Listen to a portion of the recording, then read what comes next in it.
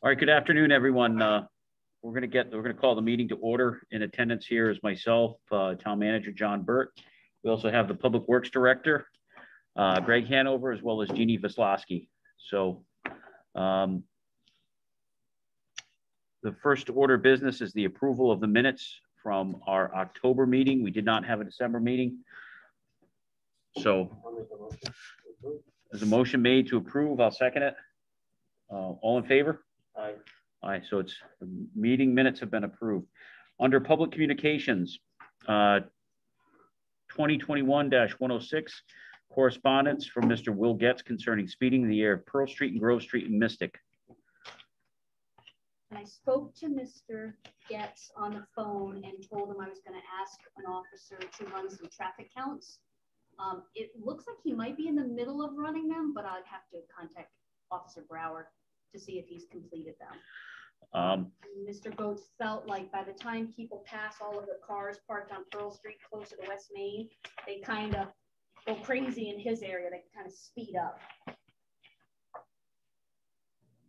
Okay. And that, that was a, the result of a letter that went to the town manager's office. Um, I don't know, are you, are you able to hear all of us or is it kind of difficult hearing us? Uh-oh, I can hear everyone. you can? Okay. Yep. Great. All right, so, um, we have, One of them that you and I drove past. that's right. We.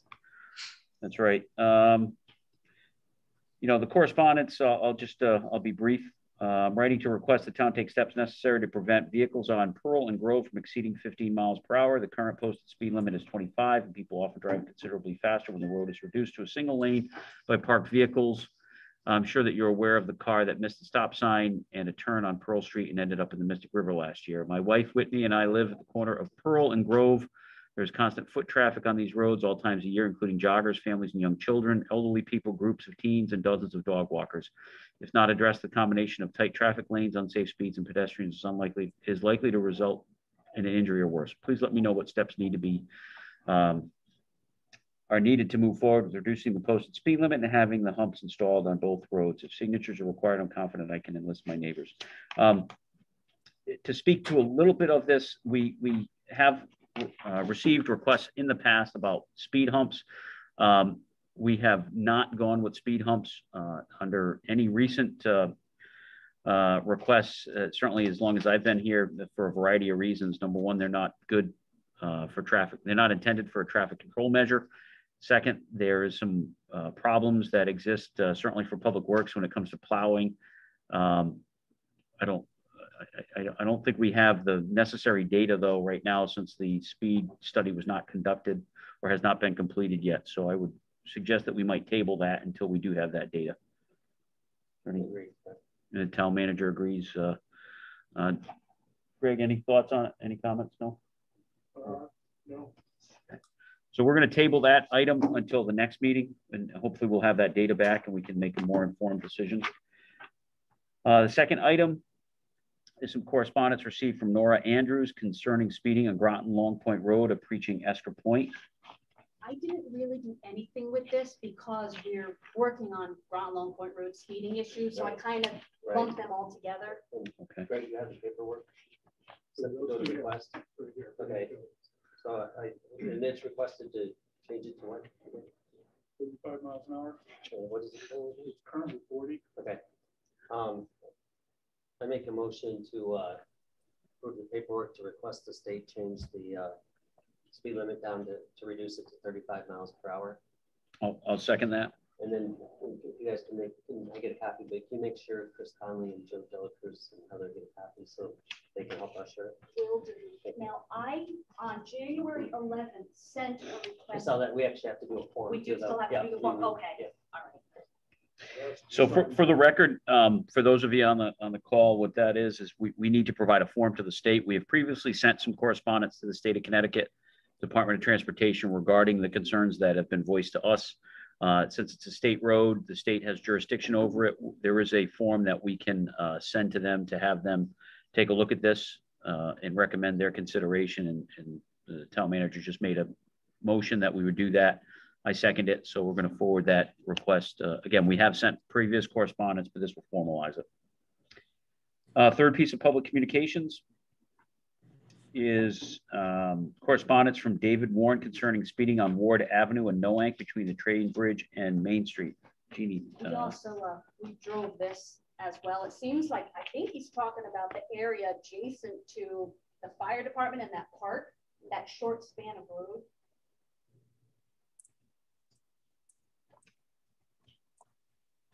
I know that we were out there on a Thursday afternoon a couple weeks ago. There were some kids playing in the park. I believe it's 25. Sure. um, I can't tell you for sure, um, but I, I think it's twenty-five. Yeah, we, we did take a ride through there. You know, we, there was nothing that really jumped out at us, uh, at the time when, when myself and, and Jeannie took a ride through there. Uh, of course, there is tra, there's currently construction going on on the, on the bridge. Um, again, there's a request from Mr. Warren for speed bumps. Um, Colin, I know you've had some, we've had discussions with you about speed bumps and just, again, for the, for the record, uh, the official position is that they're not a traffic control device, am I right? Um, yeah, we haven't put them in in years. Um, there, there are Right. some that are, that were kind of grandfathered that have been there for decades, right? Yes, Around the town. Yep. Um, we do have some in town that have been there for quite some time. But I, again, I know during my tenure on the traffic authority, uh, and prior to that, there was, uh, these requests were received with regularity and, and, uh, I think all of them were, were, were not acted upon because of some of the other reasons that I've already mentioned. Um, Correct. Yep. just from my initial assessment, I don't know if there's any other thoughts, but you know, again, when we went out there and took a look at it that day, I don't have any record of a lot of traffic accidents in that area. Yes, there is a park right there, but I, I think, you know, the preliminary assessment, at least in my mind, was that there wasn't anything immediately apparent that we needed to do. It's a. Yeah.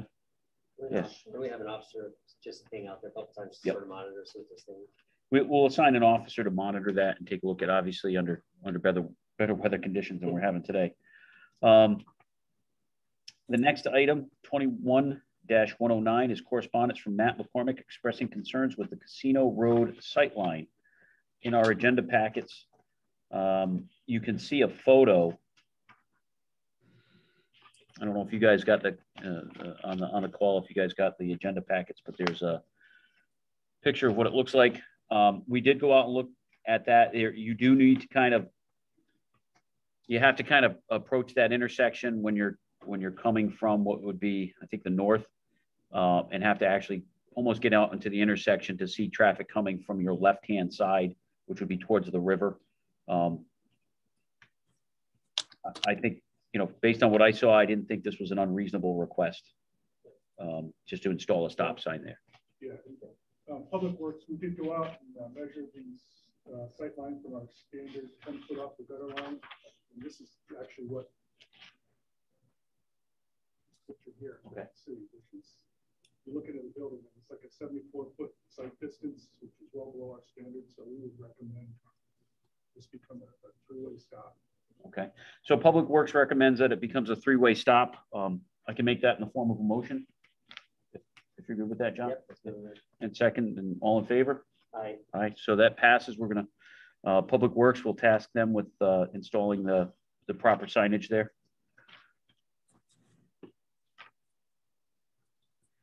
And the last, uh, piece of correspondence is twenty-one one ten correspondence from Dan O'Connell concerning crosswalks with warning lights at Route One and Flanders Road, Route two fifteen at Brook Street. Um, again, uh, um, go to the correspondence. Jeannie, any, uh, hit the highlights on that? No, I did not reach out to him. Okay. Um, I, I know you were familiar with the Yep. request. Yeah, I, I could speak to this a little bit, just having, um, on my, my off-duty time, gone through that area. Uh, this, obviously, since they're state roads, we would have to recommend this to the state.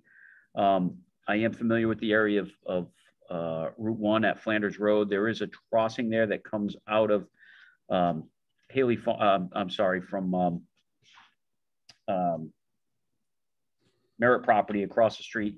Uh, and, and as they indicate in the letter, they go to Sheep Farm, which is on Flanders Road. There are two crossings there that people use with regularity. I've used them myself. Um, I certainly appreciate what they're saying there as far as getting a crosswalk. Um, the most we can do is, um, make this recommendation to the state for their consideration. Um, the one on two four, the one at two fifteen that connects Mortimer Wright Preserve with Haley Farm property, I, I believe I'm familiar with that as well. It's a similar situation where people that are doing hiking and biking, uh, do use that to cross the road. Um, my recommendation would, I- I'll move that. all right, motion made by, uh, town manager. I'll second it. All in favor? Aye. Aye, so we'll, we'll refer that as well.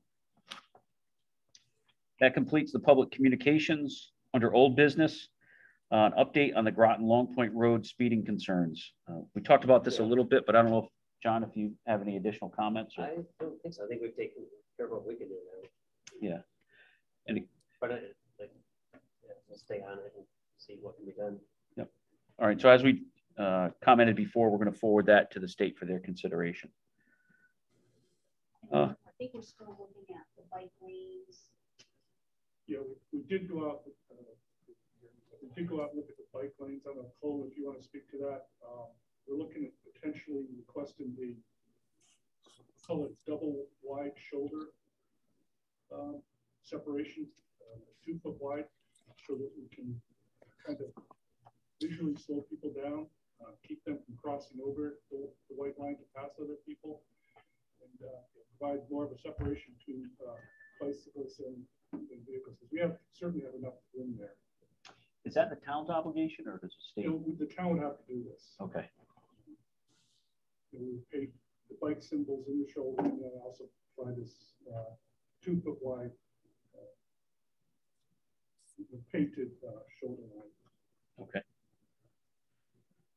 Um, Any action from us to ask the, or not, or did you already just ask it? If you guys want to formally- Just in case it's needed, they ask, but let's do it just in Okay. case I'll move. that. I'll, I'll second that. All right, so we will, Same. we'll put a plan together and put that into the state for a permit. Okay. And I know Colin was Let's vote, yeah, call the vote. Uh, all in favor? Aye. Aye. So it passes. I think Colin was talking about the flashing lights at the crosswalks. um, That that could cause a lot of money because you've got to, Well, that's done with the shoulder, that was the next thing is, in fact, uh, I don't know, this was a letter we got from DOT actually a couple weeks ago, It was copied to the traffic authority for the program to install these rapid flashing beacons at town crosswalks. Um, So I'd recommend that we request the state look at the crosswalk at Elm Street and also on Esker Point Beach. Those are town, Um, town crosswalks. Um, I see, uh, I'm sorry, I see someone had raised their hand. Uh, if you could just put something in the chat, that would be helpful to me. I, I'm not sure who was, if someone had a question. Um, Sharon D'Amato, you had a question. Uh, let me see if I can figure out how to get you to be able to talk.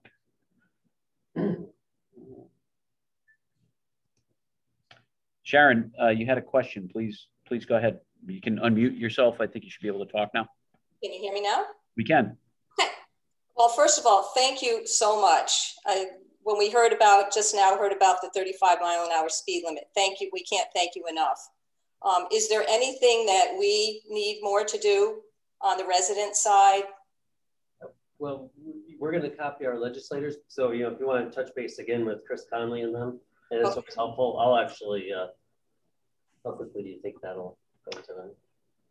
Um, we've sent most of the material to them. I think it's just a matter of Makes sense. forwarding the form. To Chris, I want to get a copy of Chris, Joe. and- Yeah, once, once, uh, so once we get this formalized, uh, which will probably certainly be within the week, uh, then we can send that, we'll send that to, um, uh, Chris Conley and Joe Delacruz. I know that they, they were copying on some of this for their, for their information, just to know where it stands.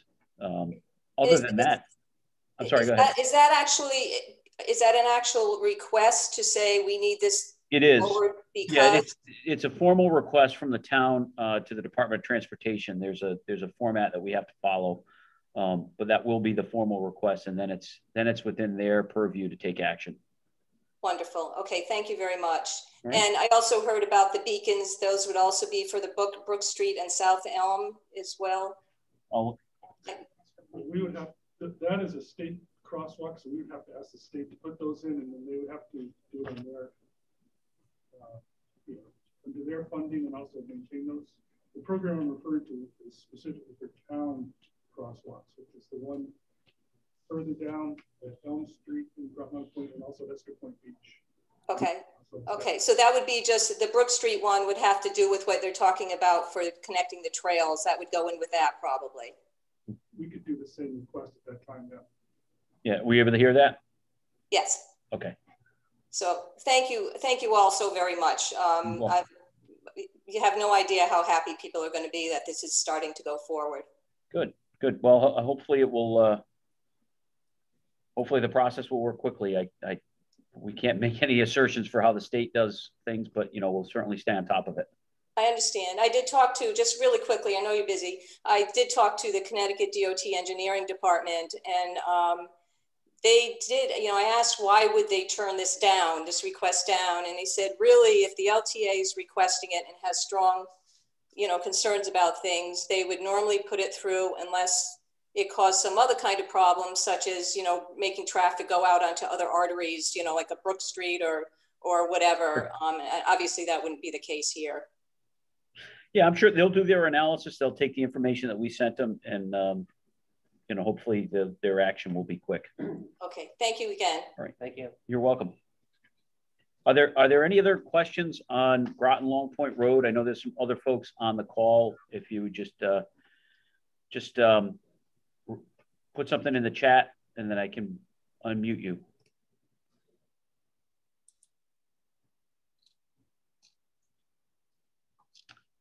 Uh, not seeing any, then we'll, uh, we'll move on. Thank you. I know several of you uh, attended because you're concerned about Groton Long Point Road. I hope that answers all your questions. Um, under new business, uh, 2020-858, request to install video monitoring signage on existing town signs on Cedar Road. in the packets, it's a, I think they already have the signs, um, and then the two signs, they're looking to install it. Writ- the sign says security alert, twenty-four hour video surveillance, all activities are monitored and recorded.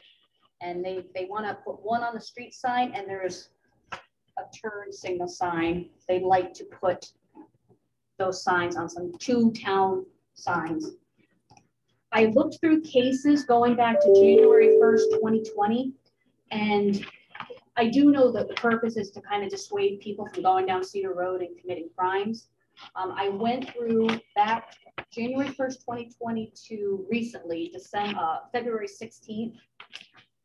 Back in twenty twenty, they did have a total of five car breaks. Um, one was on March four, uh, May fourteenth, and then there were four that occurred on July tenth.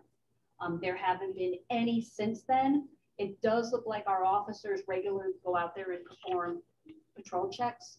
Um, forty-eight, I think, means all good. Um, but yes, they're, It does. in twenty twenty, they did have a total of five car breaks. So the request, uh, as I, as I read it, is for these security signs to be posted on town signs. Yes. Um, I, I, I'm gonna defer to Greg on this, but I think that in the past, we've been reluctant to have anybody affix non-town or, or, or, Is it um, prohibited? Let's, uh, let- maybe Colin can respond, but I think it's strongly recommended not to install non-regulatory signs under the MUTCD. yeah, it's not an LT, it's not an LTA sign, it's certainly not an STC sign, but, um, You know, if, if- if they want to put this up on their own post within the right away, we could, you know, probably do something, you know, work with them and doing something like that, if they would be responsible for them.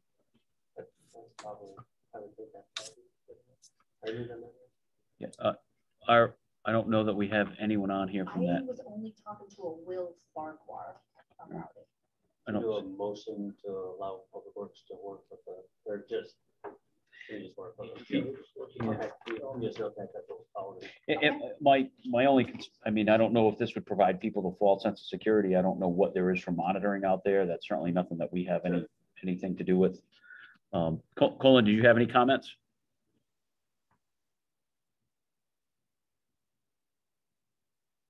Are you just frozen, Colin? I don't see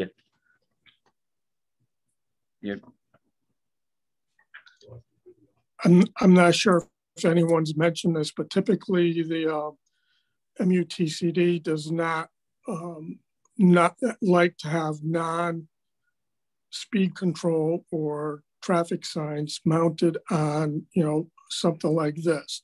So I, I would say they sh- should not be mounted on the town signs. But if they wanted, you know, their own sign, they could always go through that process.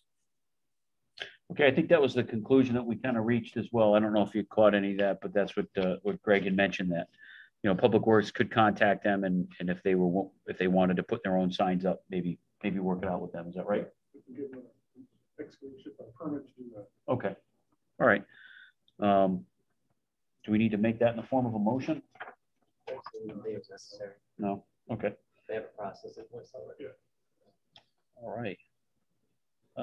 Um, the next, uh, under other items, the approval of the 2021 regular meeting schedule. Uh, we were unable to do that prior to the start of the year, but we're on the same pace, uh, bi-monthly. Motion to approve? Uh, I'll second that. All in favor? Aye. Aye. Ayes have it. We're. The second item on here is 2020-859, request for town interest in Route One feasibility assessment of the Route One road diet. I know we have some folks from, um, uh, from OPDS, John Reiner and Deb Jones. I, I, I'll invite you if you have any comments to make on that, to please, uh, do that now. Sure. Uh, thank you, everyone, for having us and uh, putting this item on your agenda. Uh, I think the short answer is yes, please. This is something that we would love to see.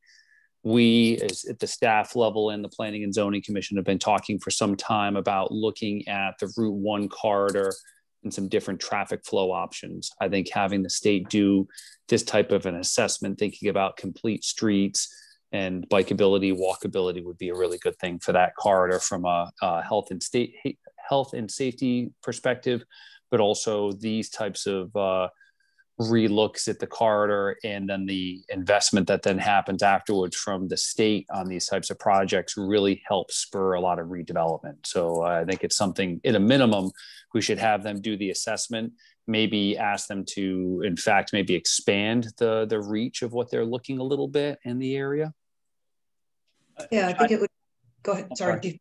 Either one of you, I, I just had a question. I know that uh, we had spoken about it. Wh- What exactly is a road diet? So first, you got to cut out the carbs. That's really the the. Um, so a road diet looks at um, really. It, it very much goes along with something also called complete streets, which the council actually had uh, asked us and uh, John Burt to look at uh, a complete streets policy for the town, looking at all users. So it's not just a, uh, a roadway made for the automobile, but also bicyclists, as well as uh, pedestrians. And a road diet is often looking at um, the amount of pavement that you have and what all that pavement is used for, how many lanes, the speeds that are on the road, and is there a way of doing different treatments, whether it's landscaping, um, lessening the amount of uh, lanes and turning lanes, and putting landscaped islands. There's a lot of options, but really to slow people down and making it safer for automobilists as well as um, pedestrians and bikes, bikes, bicyclists. Yeah, that's a tongue tire. Uh, people riding bikes. You don't know anything about it, do you? I don't. I don't. Okay. So uh, the town I live in, they actually just did a road diet complete street uh, for a section that is very similar to our Route One uh, in you know kind of the downtown Groton area, and it looks great. And it has slowed people down. So when you slow people down in those corridors, then I mean, as you know, a car accident at 20 miles an hour has a lot less devastation than one at 35 or 40 miles an hour. So it you know it's it's a small section of area but they look at it mostly in areas where there are other users of the road other than the car and how can they start eliminating some of those conflict points and um, make it um, better for everybody. I don't know, Deb, if you want to kind of weigh in on is that a good enough description on a road diet? Yeah, yeah, I think so. I mean, I, you know, initially the philosophy for the roads were to get people through as quick as possible, as fast as possible. Um, so when you slow them down, it actually increases economic development because you have the opportunity to, you know, see what's available there and, and get into some of these shops. Um, something else we had talked about was actually lengthening the area of the study down to Laurelwood. That gets us past the Big Y Plaza because right now I think they're proposing to stop at Quantic Road. Um, and that the Big Y Plaza area is, you know, something that we targeted in um, the PIF master plan. Yeah. And I just want to note that this is not a commitment by the town. It is mm-hmm. just, you know, let's look at it and then and then it's the preliminary step. So we're not committing to anything here. Sure. Deb, yeah. could I, I could I ask you a favor? Um, I did get correspondence as recently as yesterday from the state on this topic. If you want to see modifications, if you guys could send me an email on exactly what those modifications are, and I will forward that in my response on behalf of the traffic authority that that um, we concur and that we would like to see this, but would they would consider making those adjustments? Great, certainly will. Okay, good. And you know, I just quickly pulled something up on Google about road diets, and you know, they are a little controversial because I think people don't understand them always at first. But as far as you know, traffic engineers and others are concerned, they work and they reduce t- crashes, and that's one of the biggest pushes behind them is reducing crashes and conflicts. Okay. Um, th- any any more comments on this? I would, I, I think the town manager is prepared to make a motion on, on the issue. So I'm just curious, um, will there only be one travel lane? Or is it still two travel lanes, but if there's a bicyclist, a car doesn't, like, are we losing a lane? I, I think the short, yeah, yeah. The shorter answer is we don't know. Each road diet is a little bit different. Um, sometimes what happens is you have one main travel lane and then you have the, the turning lanes are much more defined and some of those come with hardscaping meaning landscaping or other things or bump outs that direct people to the appropriate areas to turn and the you know travel people are still going at a, a good flow through but then there's a, clearer delineation for where the turnoffs are but every one is different in how it's looked at All right, Thank you. Any any other comments? I think they're doing it on, um, did they do it on Clarence B. Sharpe? I know there was a public hearing about it um, in October. No, well, I think. But I don't think I. Not that I'm aware of. Um, and I don't know if that would be on a, a road diet or if that was just another construction project. Yeah, because I, I think that extended from the limited access highway part. I think that I don't. Yeah, which usually you don't do a road diet on a limited access highway. Um, I can also tell you that. Yeah, but I, I don't know. I'm not enough. I'm not familiar enough with it. Yeah, Route 349 Eastern Point Road. Yeah. Yeah, the Oh, state, yeah, yeah. no, I remember, yeah, they're still talking about it, there, they took testimony on it, there's some conflicting opinions. That's the Because, of- because of people coming in and out of, uh, That's gonna be, uh, Yeah. Well, um, like, I, I think on this topic, I, uh, I believe we're ready to, yeah, I You wanna make a I motion? move to recommend to the state to do the study with the additions of, uh, those areas that are requested by the, uh, planning department. I'll second that. All in favor? Aye. Aye. Um. Thank you. motion- That passes as well. Great, thanks. Thank you. You're welcome. Thanks a lot. Uh, the last, uh, item of business is 2020-860, which is request for comments on proposed Gold Star Highway Shewville Road traffic control sign, signal improvements. I included the map, but Um, I don't have anything to add about this one. No, I'm like, holy smokes. Yeah, th- this is a bit, this is a bit complicated. If anybody cares to, to figure that out, please, by all means. Um, I don't. I think it's just like they've been updating all of the intersections. Yeah. Of course, we reviewed the plans and we had no comments. Uh, okay. Town manager did sign a letter saying we would maintain the, they're putting in a preemption system at the request of. On a bridge, right? Is that the one? No, it's uh, actually Captain Snyder.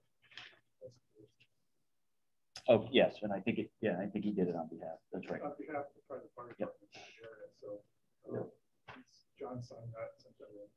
so. No necessary, it says, uh, Okay. I don't think it did. Um, so no action will be taken on that. It sounds like the state is, is moving forward with it, but, um, there's no other items on the agenda. Does anyone else have anything? Right, you're good. I'm good. Um, I'd certainly, uh, entertain a motion to adjourn. So moved. Move, second, all in favor? Aye. Aye. The meeting is adjourned. Thank you for, uh, participation and attendance. All right. Enjoy the snow.